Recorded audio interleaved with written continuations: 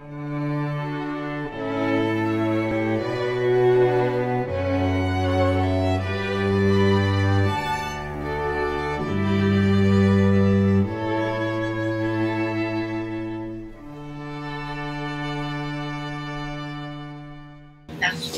back, we're live, we're at Think Tech Talks here on a given Wednesday. I'm Jay Fidell. Welcome to the show. Today is Community Matters, and it is Portraits of Lanai, and it is about a teacher extraordinaire, namely Sandy Patterson, co director of the Lanai Academy of Performing Arts, and of course Alberta DeJetley, and they are in a garden in a beautiful place in Lanai.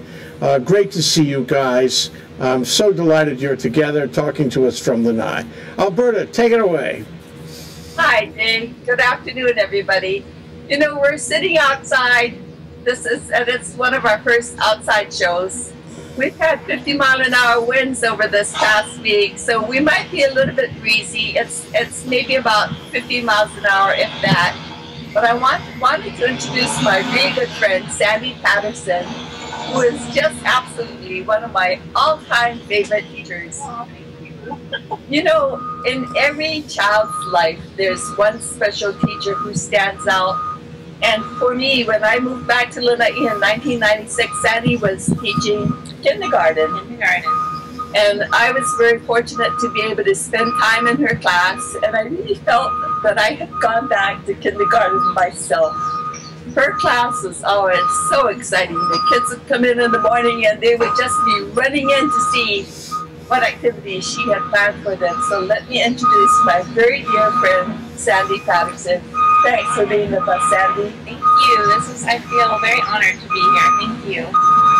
Tell us a little bit, bit about yourself because I know you came to Lanai when your little boy was two years old. He was a year old uh, and my oldest boy was four. Um, and now my youngest is a senior. So I've been here 16 years. And boy, that time has passed fast. but I've been teaching for over 25 years total. I taught in Camp Third, um, Kamehameha the Third in Lahaina for about 10 years before moving here. So, um, and, um, but I love Lanai. Love Lanai. There's no, no place like Lanai. Well, you know, besides being just involved in school, Sandy is very involved in the community at large. So tell us about, well, today she was supposed to have gone down to Shipwreck Beach with her two dogs and with another dear friend. And very fortunately, tell us what happened to you today. oh, well, I was going to drive my big truck down and, uh, and we were getting ready to go. But when I drove to school, Alberta had called and I said, okay, I'll, I'll come in and do the interview. And thank goodness, because when I got in my truck, my brakes had gone out. Ooh. And so I don't want to, I'm glad I wasn't driving down the winding road to shipwreck with no brakes. So I think it was a blessing. Sandy says that whenever her son, uh, Cameron, who's a young adult now, but whenever he comes back home from, for vacations, he always has these great adventures down at Shipwreck. Oh, yes. He's um, the monk seals and the dogs the dog's meeting the monk seals and uh, catching an ulua and sacrificing his fishing pole. Um, instead, it got wrapped around the dog's legs, and instead of sacrificing the dog, he was nice enough to sacrifice the fishing pole. But every time he comes back, he has some story to tell about the dogs and shipwreck and and uh, fishing and hiking and doing all his things here. Can you tell us a little about Shipwreck? Where is it and what, what is its significance in Lanai? Where, uh, where we are? Shipwreck. Oh, oh Shipwreck. Um, Shipwreck's down on the on the other side, on the windy side. And um, there's a shipwreck out there that I thought it was an actual shipwreck, but evidently I believe it was after World War II. Um, the Navy came and dropped it off, thought that would be a good place to leave it and park it. So it's kind of a landmark place to go. It's the remote part of the island. It's a good place to go look for shells, walk along the beach and look for stuff, and uh, swim and dive. well, you know, Sandy's got on this beautiful shell necklace, and she dove for all of those shells herself. So tell us about the jewelry business. Um, your jewelry making. Jewelry making, yeah. It, um, going and looking for the shells is, is probably the best part. and um, I, I, go with my boys. They go out spearfishing, and I look for, for the shells. I have secret spots all around the island. They're getting harder and harder to find, the big ones. Um, but um, I'm hoping to collect enough to possibly do this as a business when I retire from teaching. if she we're ever going to let her retire. I'm still having fun, so still in there in the classroom. You know, Sandy had had um, some information about her teaching career, and one of the things that she has written here is in her classes, she always try, try something new and scary every day. It can be as simple as something new could be as simple as eating spicy ahi poke or driving a big truck in the sand, which is very scary. um, so, what kind of scary things do your kids come up with at school? Oh well, just trying something new that they've never tried before. Um, maybe reading a, a, novel as opposed to a, a picture book. Um, trying some big words, trying new, um, trying to investigate new things, um, and just going out there and being adventuresome. And um, that's what I kind of encourage. Just keeps you on your toes and keeps you young and keeps your brain going. Um, yeah. So. So you you were a kindergarten teacher for a long, long time. For a long time, yes. And now you're teaching fourth grade. Yes. So what made you switch? What was the transitional point? Well, at Cam at King Kamehameha Third in Lahaina, I was um, the gifted and talented, the art teacher, the remedial reading teacher. I taught grades K all the way up to fifth, and so. Um, and then when I got to Lanai, I continued to teach kindergarten but then I stopped and I subbed for a couple years in between there and got to see the big spectrum from high school all the way down to kindergarten. My favorite group of children are the fourth graders. They um, they're they're independent and and yet so excited about learning. They come in every day just really excited about learning. And all you do, all I do is set forth the activity or the question, and then I get out of the way and watch them go. So that's what I love about fourth grade, and it you get to teach um, you know a little Hawaiiana mixed in there too. So one of the exciting things, you know, as a parent, when you when you get a teacher like Sandy and your child comes home from school every day, so enthused about what is happening in the classroom. Sandy brought some some uh, things to share with us she's got these books that her students are working on. Sandy, tell us about these. Well, this is our second year doing this, and um, this is where the kids get to write and publish and illustrate. So as you can see, this is hot off the presses. This one is by Beretta Bradford. And before he illustrated this or wrote a story, he told me, Miss Patterson, I cannot draw. So that goes back to the try something new and scary, and um, telling him he can. So he wrote, he his dad works at the stables up at Koele. So he wrote about his experiences. He drew all these, he drew all these pictures. Wow. And this is a child who said, I can't draw. And so um, one of my favorite, um, one of my favorite stories. They're all. Where do you get these published? We get them through, it's called Student Treasures. And um, you fill out a packet and the kids write rough drafts and edit and then type them on the computer and then we print and then they illustrate them and then I send them in each packet. So every child in the, their fourth and fifth grade will have their individual books and then classrooms in kindergarten through third will have class books. But um, this one is by a student who's been here, I believe, since kindergarten. And then um, we have little Ami Asakawa. Who, wait, wait, before you oh, go to Ami, oh, I got to tell you about about uh, Beretta. Isn't he one of the youngest cowboys in the state? I guess he is, and he's a polo player as well. Polo player, yes. and doesn't he have, um, you know, his dad manages the stables up, up at and is a roper, cattleman, uh, loves rodeos. So both he and his younger brother, how old is his brother? Um, I think his younger brother is second grade. Uh, but they do uh, not calf riding, but sheep riding. Yes, they do calf too, though. but it's yeah. really amazing to see these kids uh, on a on a uh, cattle that young calf that's running away out of the chute. But just amazing, uh, amazing family. So, what about this? And and back to the, this. This is what I love about this project is the, this. I don't tell the students what to write about. I give them ideas, and um, a lot of them pick what they what they love, and that's what makes this so special um, to me. Is it's about their what what their interests are. So they're originating from Utah. Yeah. And this next little girl is Japanese. Yes, and She's her from Japan. and her life story is so big. She had to write my life story one and my life story two to continue it. so she's got a lot. But this little girl came. Um, Ami came this year. Her parents are Japanese, but um, she grew up in Seattle, and then they moved back to Japan right after the tsunami hit. So this is a So story. she's bilingual. Yes, she is. And so this is a story about um, her life in Seattle and then moving back to Japan and talking about her grandmother and, and the tsunami.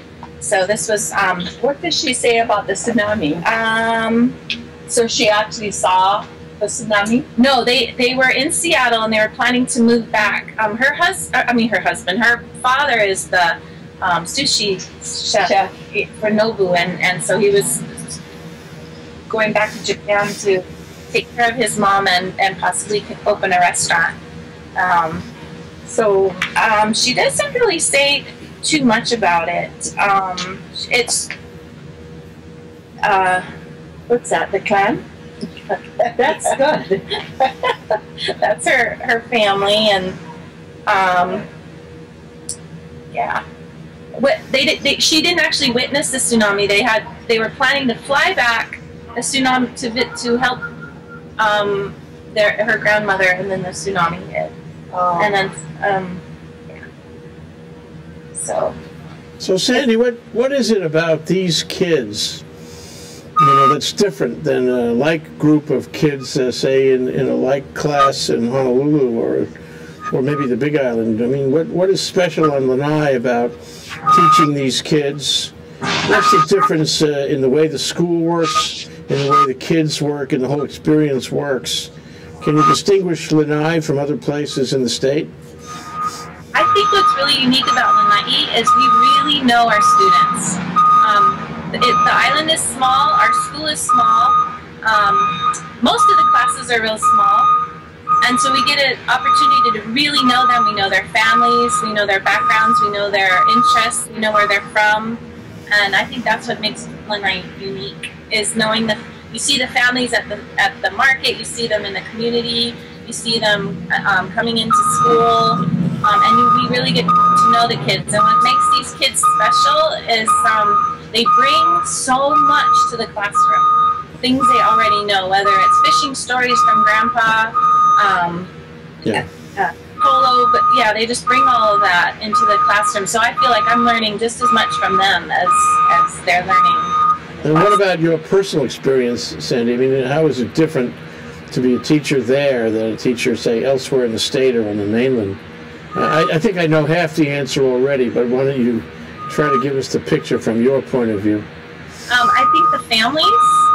Um, I taught in California, and I, I didn't really get to know the families. It was very. Um, um, the families lived outside of the school where I taught. Uh, I mean, they lived near the school, but I didn't. I didn't. It wasn't a tight knit community like like we are in Lanai. Um, Lahaina even is big and bigger than Lanai, and it's hard to get to know all the families in Lahaina. Um, Uh, you know, that's one of the things I think about modern education, especially young young children uh, education, is that a lot of kids are latchkey kids. You know, they they um, they don't they don't they're not they're not able to share their education with their parents. Their parents don't necessarily get involved in their education. The teachers don't know the parents. It's all very nuclear age. Uh, and the result is, you know, there's a certain isolation between education and family. It sounds like there's a big difference between that and what you're doing. Uh, and uh, I don't know, Alberta, can you pursue that after we come back from this break? Sure. This is uh, Sandy Peterson. She's the uh, Patterson. She's the co uh, co-director of the uh, of the Lanai Academy of Performing Arts. I'm sure we're going to hear plenty about that. Um, this is uh, Portraits of Lanai. We're, we're examining Lanai one portrait at a time with Alberta DeJetley. And uh, we'll take a short break now. We'll be right back. Hello, I'm Jay Fidell of ThinkTech. On March 27th, uh, at the YWCA downtown, Laniakea, uh, we're having a luncheon program, a luncheon panel program uh, we call the Midterm Legislative Report. We're going to present our 2014 legislative midterm update uh, featuring Bob Toyofuku of Hawaii Advocates as our moderator and a panel of leading state finance officials uh, who will tell you about what's going on in the legislature about money this session. It's really important. Senator David Ige, chair of the Senate Ways and Means Committee, Representative Aaron Ling Johanson, co-vice chair of the House Finance Committee, Representative Sylvia Luke, chair of the House Finance Committee, uh, Calbert Young, State Budget and Finance Director, all the people who are very important, who know about the state fiscal policy, the state finances this session. You know, they say we have a spare $884 million. How much do we really have? The Council of Revenues changed its mind about projections. And how are we going to spend that money or not? What effect will our, you know, current $40 billion of unfunded liabilities have on all of this? And in election year, what are the real priorities that are going to determine the money bills and the final result of the 2014 legislature as far as you are concerned? We'll cover current fiscal issues, bills of interest, interest of the business community, and we'll look at the provisions, political dynamics, probabilities, price tags of crossover and passage this year. It'll be very interesting to find out what is going to happen here uh, as far as your bills are concerned and as far as state initiatives are concerned. It's an essential program for anybody who wants to know the fiscal state of the state or if you want to network with the legislators and like-minded attendees uh, who are likewise interested in the subject. Sign up on thinktechhawaii.com. We look forward to seeing you there. Aloha. Okay, we're back. We're live. We're having Chinema Real over there in Lanai, Lanai City, with uh, with Alberta DeJetley, Lady About Town, uh, by Skype with her guest, uh, Sandy Patterson, who was the co-director of the Lanai Academy of Performing Arts and a teacher there.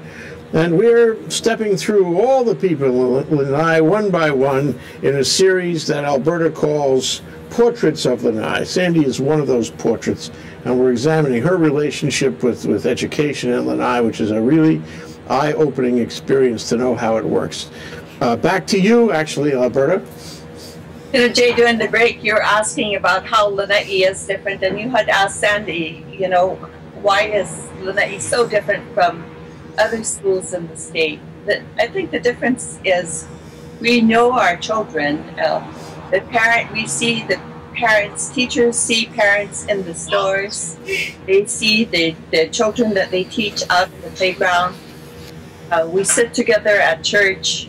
We play together at the beach it's it's all you know. Everybody talks about Lanai as being one big family, and it really is so. But if you look at you know the two two students that books that we have talked about, the two previous students, they are fairly new to Lanai. So our community is changing, and I think people are embracing the new people who are coming to Lanai because I like the title of this book the time I moved to Lanai. So it's another new student. Yes. Well, he's been in the um, this March. He's been in our um, school since I believe second grade, but he's talking about when he moved from the Philippines. His whole family, oh. and we do have a lot of um, uh, kids who are, are coming in as ESL students, and so this was um, this was kind of a fun book for him to write. For me to see it from a perspective of, of a, and there's a little mark right there. How many, do you know how many uh, siblings in his family? Um, in Mark's, not yeah. not too sure, but we have quite a large ESL population, and uh, um, I know other schools in Hawaii are, are their populations of, of students speaking other languages is rising also. Uh, because on this, on chapter one, he writes, I was born and raised in Manila in the Philippines. My mom and dad wanted to move to Hawaii because they wanted me to have a better education. Mark and Ian were my best friends in Manila, and they were sad to see me go. But you know, this story has been repeated since the 1930s. People have packed up, moved to Lanai, hoping for a better education, more advantages for their families. And we have had uh, doctors, lawyers, just uh, a, a, judge, all kinds of people have been raised on Lanai and have done really, really well. So it's really nice to see a young man like this knowing that he's come to really the land of golden opportunities. Yes. And in these families, education is really important. And you see that in their diligence to do their homework. Yay, Mark! Another book that Sandy bought to share with us is the Songs of Lanai. And I have to say something about this. This could not be possible without Matt Glickstein, our awesome musical director for LAPA, and Devin Costales, who is a senior at our school, who um, has shared his musical talents and talk about extraordinaire. This boy can write songs, so I see. Hopefully, one day we'll see him on the Grammys. But they come into my room and we do language arts and uh, songwriting about things that the kids are doing. So um, the first song they wrote is when we were doing swimming lessons. They wrote about our new community pool that um, got fixed up and ready for them. So the first song is about called "Love That Pool." Um, and I'm not even trying to sing it because the CD will come out. you can buy the CD. and then this is one that makes me cry every time. Devin Costales wrote wrote most of the lyrics, but the kids help him um, coming up with ideas. So I just have to share one verse. Um, this is my home, loving every minute and hour, jumping off the tires at Kaumalapau Harbor. So basically, the kids wrote about, they brainstormed all the things they do in Lanai, and they put it together in a song, and it's giving me chicken skin right now. Hopefully, I don't tear up on, on camera. but um, And then we had illustrations, but this is one of the, talk about why Lanai is special. This is this song says it all. My island, my uh, my home island, and um, it's several pages long. And they write about going to the beach and driving down to shipwreck and um, Polihua. And then here is um, the last page. And then the next song is um, the sustainability song, which um, is our theme for the year, sustainability. So we, we're doing project-based learning, and the students, um, we have um, little mini aquaponics tanks in our classroom, and the students um, are growing wheatgrass using the, to use kid language, the pee and poo of the fish to fertilize the wheatgrass. And they um, harvested their wheatgrass on Valentine's Day, and we made wheatgrass shakes, which they insisted they were not going to eat um, until they tried it.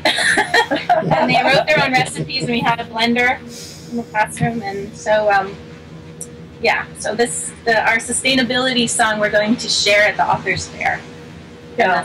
When's fair. the authors fair going to be? Oh, the authors fair will be May 9th um, on a Friday night, and we're hoping the whole community comes out um, to Lanai High and Elementary. It's going to be kind of a back open house kind of a thing where you can go and visit um, the elementary classrooms. classrooms. And, and actually, we are encouraging parents not just to go into kindergarten if you have a student in kindergarten, but to visit all the other classrooms because we have some incredibly hardworking, awesome teachers that teach at our school. And uh, once you go, go in their classroom, it's, it's, it's amazing what they do with the kids. That's great. You know, the whole school now is moving to this project-based learning. Yes.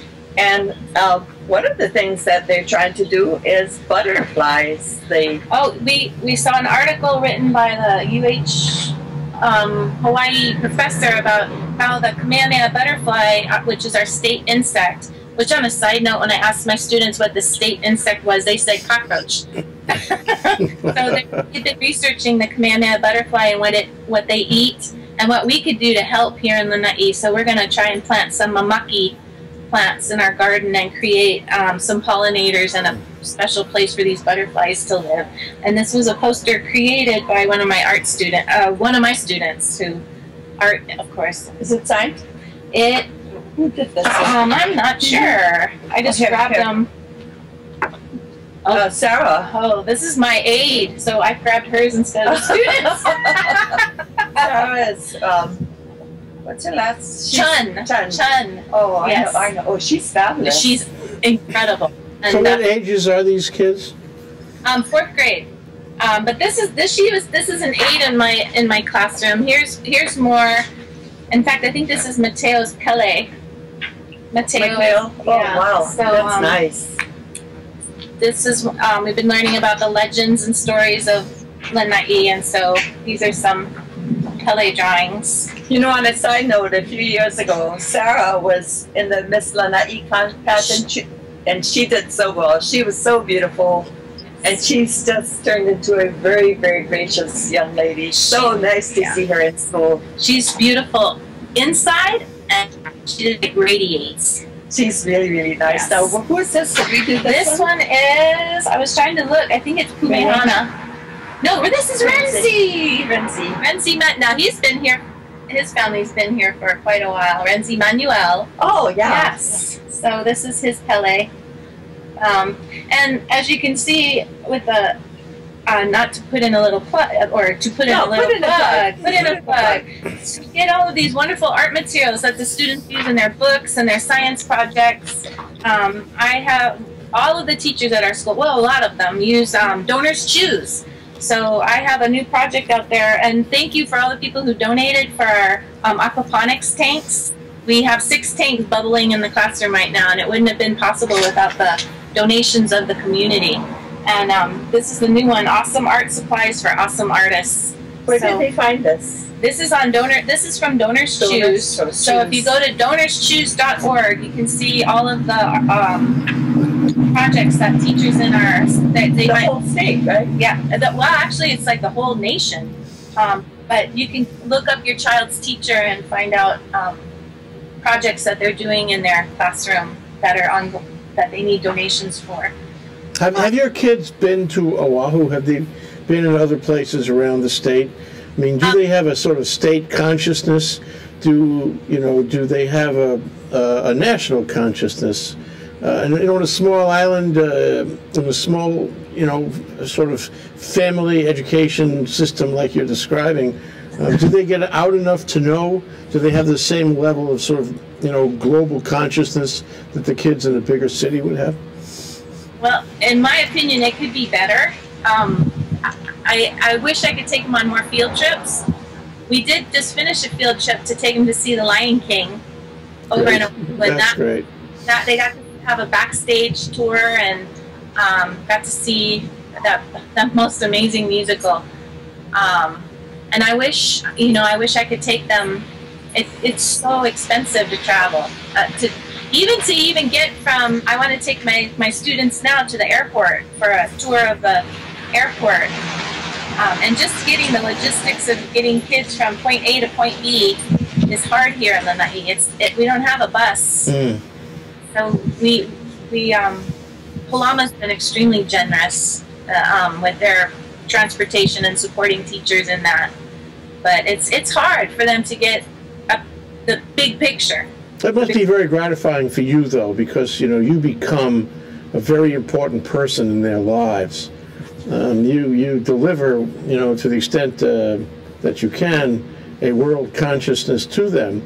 You're you're, kind of uh, you know their conduit to the outside world in some ways, and so it must be very gratifying to sort of breathe life into their intellect that way, at that age especially.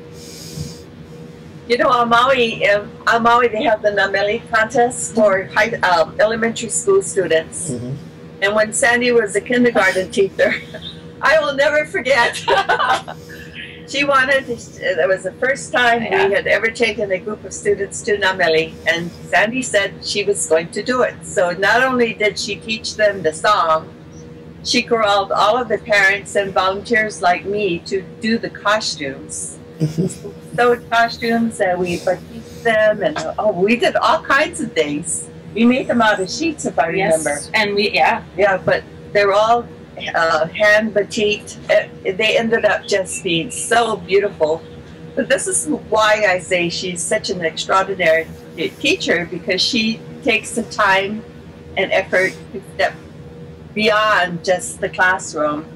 You just grab up everybody. You're worse than I am. The extraordinary teacher, teacher extraordinaire, is the title of our show, and it's all about uh, Sandy Patterson, uh, who is the um, co-director of the Lanai Academy of Performing Arts, and she uh, she's with our host in Lanai.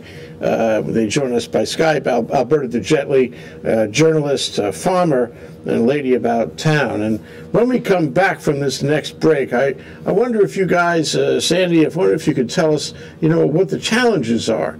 Um, because uh, you know uh, what's what's the um, the Garrison Keillor thing? You know, is, are all the children above average? what what are the challenges you have to cope with in order to do what you want to do in terms of educating them? Uh, we'll be right back after this break here on Portraits of Lanai. Castle and Cooke, Hawaii. Investing in Hawaii, creating communities, and providing for the needs of our state. Collateral Analytics, empowering the real estate industry to make better informed property investment decisions. The Foreign Trade Zone, bringing the benefits of the Foreign Trade Zone programs to Hawaii businesses and entrepreneurs. Galen Ho, a senior executive of BAE Systems, a global defense, security, and aerospace company.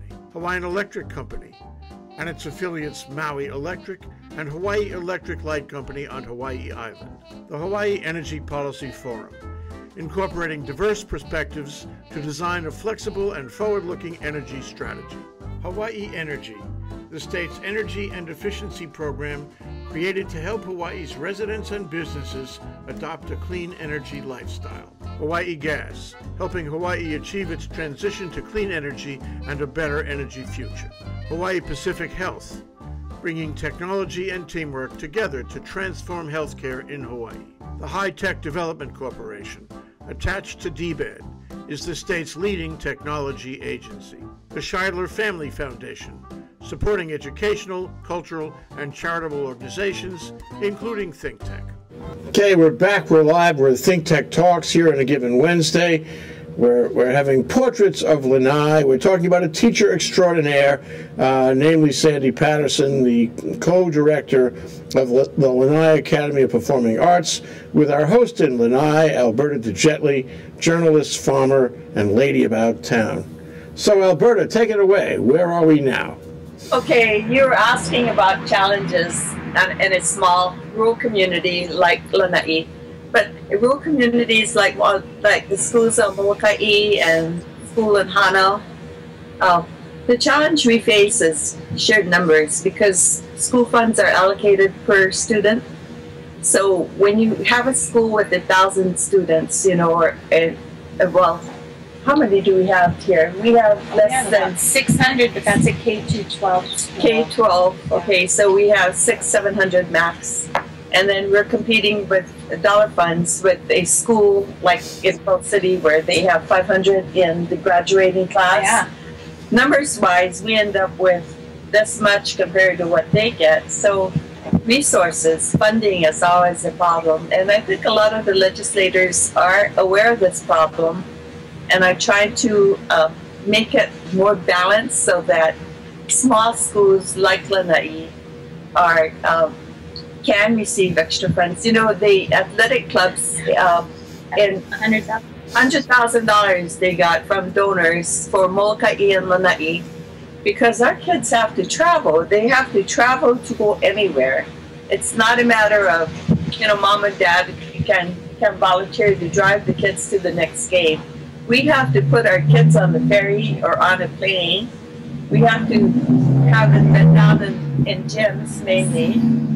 Um, transportation, wherever they're going, food, the cost per child, per family becomes really, really burdens, a burden. And part of the thing that I see too, besides, you know, be, being able to send our kids out to participate in sports and other activities, is there's a tendency to say, oh, well, it's only a rural school. Well, we have some absolutely amazing students in our school, and we need more resources. We need more music, we need more art, we need more science, we need more math. We just need everything. we, yeah, we do.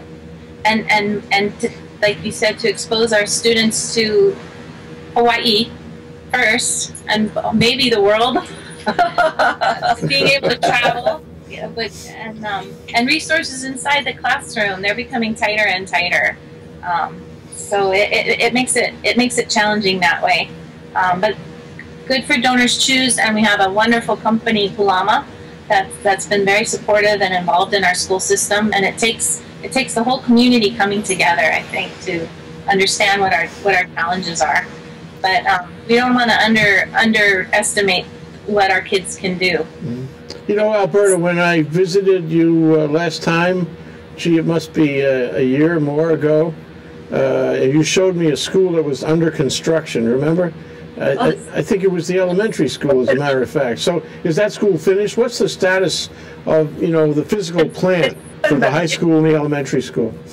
They, they haven't connected the internet or the telephone, so it makes it in this day and age not to have students, high school and middle school students, not have access to internet makes it extremely difficult to, to do your job um, in the classroom. Um, and so that's a huge challenge. And, and I don't know if it's politically correct to say, I, I don't know why they don't, they're not connected.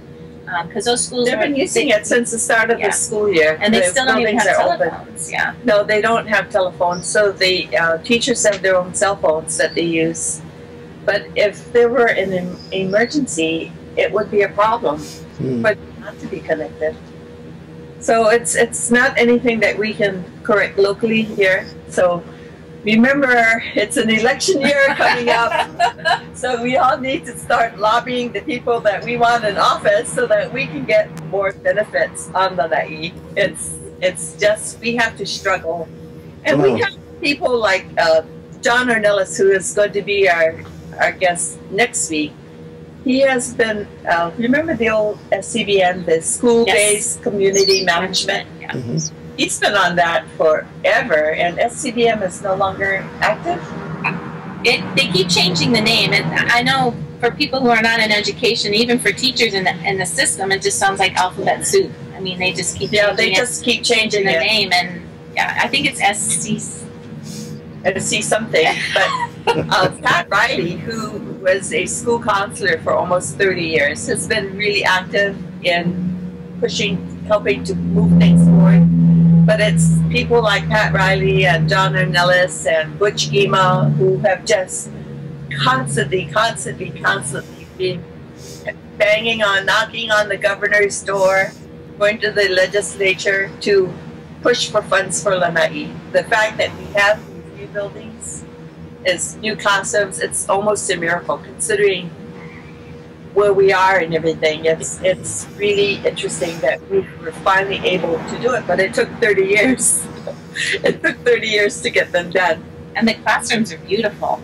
Yeah, so we can live without telephone for maybe another year or internet for another six or seven months. You know, the disconnect is that uh, must be what, two years ago, maybe maybe less, uh, when the governor uh, got got behind this broadband initiative. And the broadband initiative was, uh, you know, um, an attempt, uh, or at least a statement of intention, um, to to bring broadband everywhere in the state, uh, especially places that didn't have any broadband and, and to give good, fast broadband to every place in the state. And Lanai would have been, is a perfect, a perfect object, a perfect target for that initiative. So it's an incomplete as far as the broadband initiative is concerned.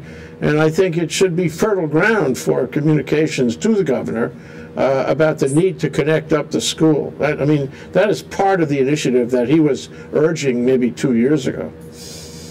Well, it would be great if we could get a free internet service covering the whole community. Mm-hmm. Whole community would be one big hotspot. Mm-hmm. That, that, would be great. We're going to take one last, uh, we're take one last break, if you if you guys don't mind, uh, and then I suppose we can talk about the performing arts. Yes. Um, so that's uh, Sandy Patterson on the right. She is a teacher extraordinaire uh, in Lanai. She's a portrait of Lanai, and our host in Lanai uh, as always, is Alberta DeJetley, journalist, farmer, lady about town. And uh, if you guys don't mind, we'll take a one minute break. We'll be right back, and uh, and then we can complete the discussion uh, by talking about the Lanai Academy of Performing Arts. Aloha, I'm Jay Fidell of ThinkTech. We have some news for you. In addition to our Think Tech TV show and our Asia in Review show on Olelo 54, as of January 1st, we're adding Community Matters to play also two hours a week. Check out thinktechhawaii.com for the specific times of each of these shows. We hope you enjoy all three. Mahalo, I'm Jay Fidell. Aloha, I'm Maria Kashem of Think Tech Hawaii, and I want to tell you about our Think Tech talk shows. If you didn't know it, Think Tech streams video and audio for all of its shows live on the internet from 2 to 5 p.m. every weekday afternoon, and we replay them all night long on ustream.tv. Visit thinktechhawaii.com for our live stream and YouTube links. Raise your awareness on ThinkTech. I'm Maria Kashem, and I'll see you there. Okay, we're back. We're live. We're Think Tech Talks here on a given Wednesday. I'm Jay Fidell. We're talking about Lanai, which is what we like to do on Wednesday afternoon. We're talking about portraits of Lanai with Sandy Patterson, who is our portrait of the day. She is the co-director of the Lanai Academy of Performing Arts. And of course, our host from Lanai is Alberta DeJetley, journalist, farmer, lady about town. Uh, they join us by Skype, and we are broadcasting and live streaming from Pioneer Plaza in the core of downtown Honolulu. So, you were going to give us a little précis on what's happening in performing arts. Alberta, back to you. You know, we have so many nonprofits on Lanai, and I'm involved with a great many of them.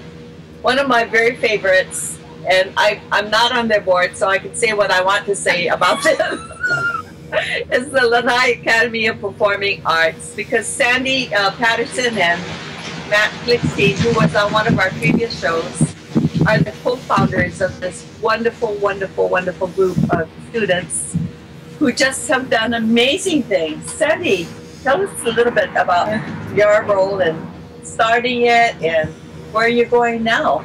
Well, I just feel really blessed that I was able to meet Matt. Um, he was a uh, teacher's assistant at our school with amazing musical talent, and um, you just have to.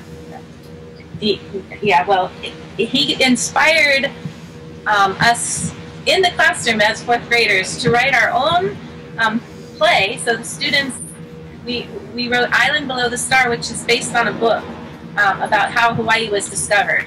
And so we wrote the, the Reader's Theater, and then it turned into a musical. And he, with the, um, some high school students, wrote all the music for the play. And the community, I have to say, was so supportive.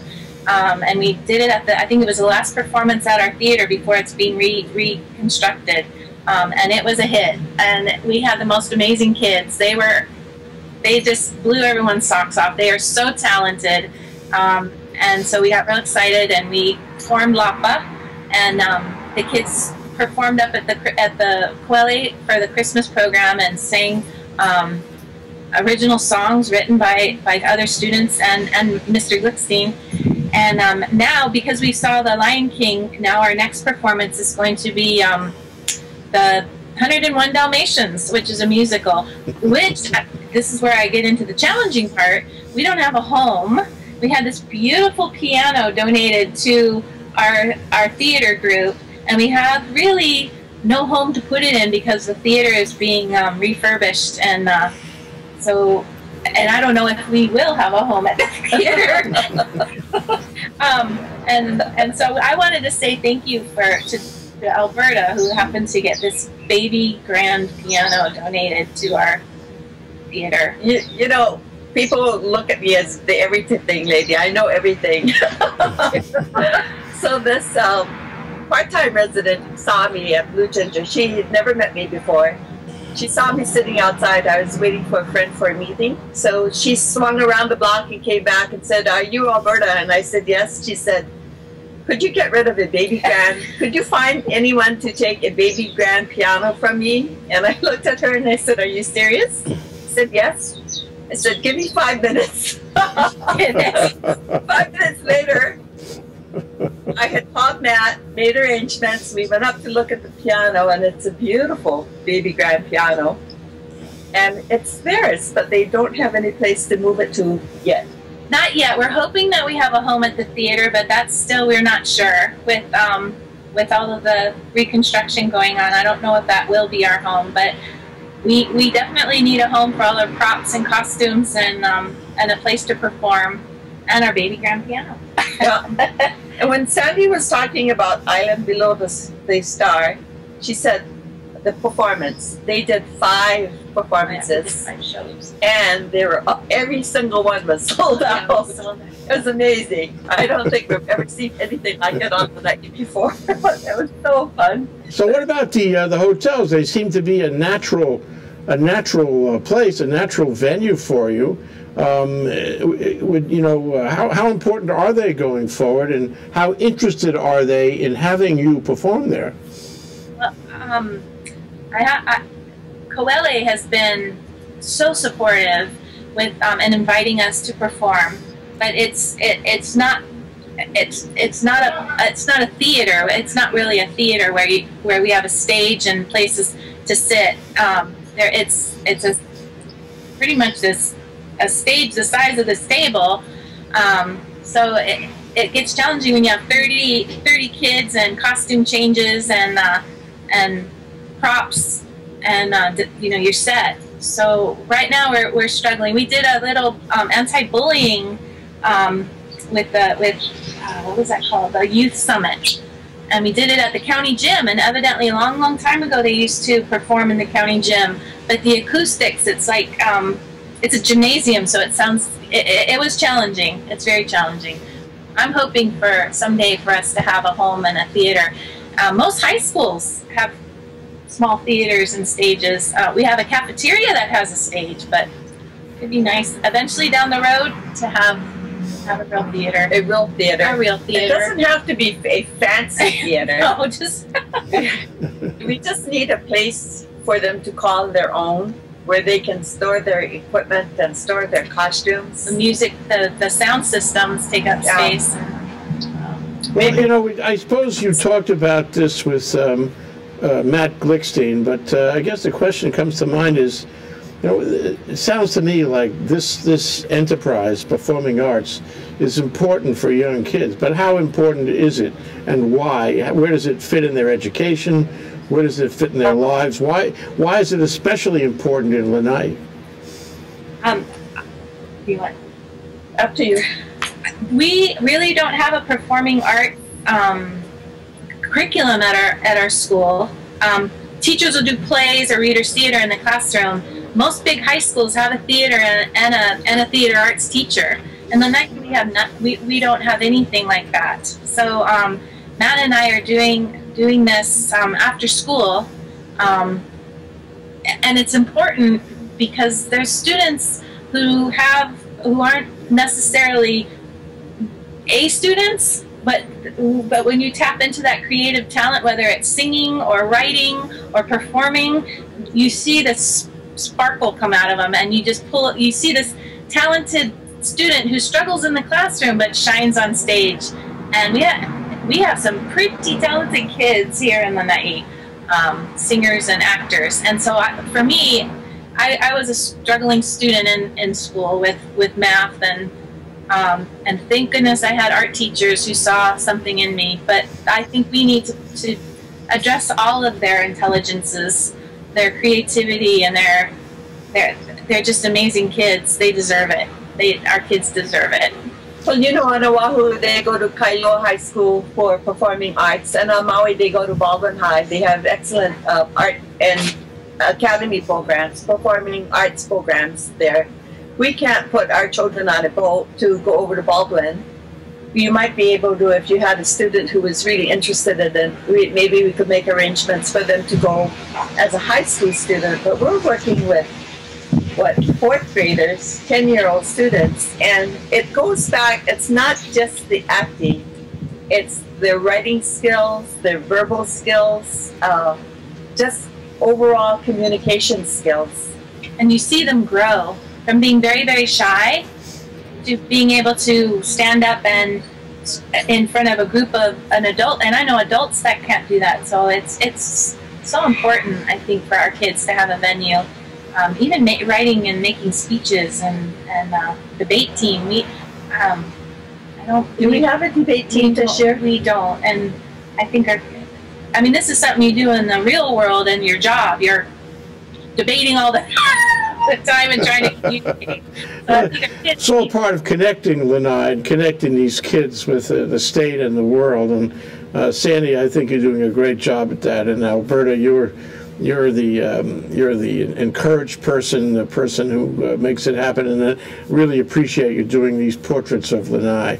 Thank you so much, Sandy, for being a portrait of Lanai. Thank you so much, Alberta, for making this happen. This is uh, Think Tech Talks. We're talking about portraits of Lanai as a matter of community. Community matters. We're talking about a teacher extraordinaire, Sandy Patterson, the co-director of the Lanai Academy of Performing Arts. Thank you so much, ladies. I hope to talk to you, you, you both soon, especially you, Alberta, next week for another show, another portrait of Lanai. Thank you. Thank you. Aloha, you guys.